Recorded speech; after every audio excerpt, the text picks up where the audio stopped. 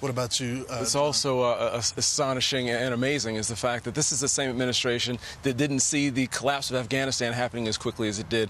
Uh, it, it, didn't see this massive attack uh, on Israel coming, and with 1.5 million gotaways, more than the entire population of Montana, we're wondering what is this administration missing about what's going to happen in the homeland.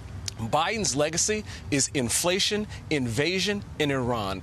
The fact that we have people who have an affordability crisis and everything is so expensive with cost of living, the fact that you have millions of people flooding over our borders, bringing uh, uh, fentanyl and drugs that are killing people in this nation, and the fact that he turned his back on Israel, and people in his administration calling for ceasefires, yeah. governors saying that they're good people on both sides, essentially.